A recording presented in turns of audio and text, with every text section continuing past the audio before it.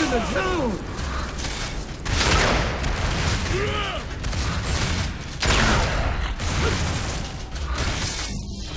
You're not done, soldier. Not by a long shot.